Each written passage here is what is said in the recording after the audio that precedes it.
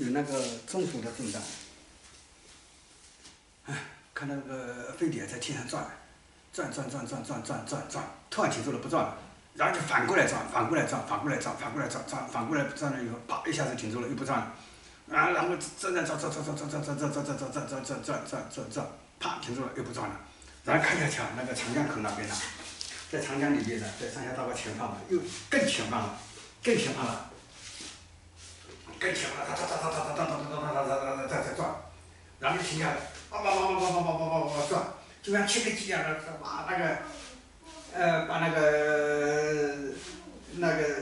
泥呀切切切割掉了，切割掉了，切割掉了。也就是说，也就是说，它的那个，它的那个原来是动了往下，现在越来越平缓了，越来越平缓。按这个按这个汽车搞搞搞过去的话，就是。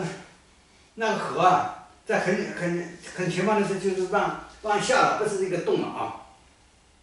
啊，然后继续往前伸，往前伸，就是就是说，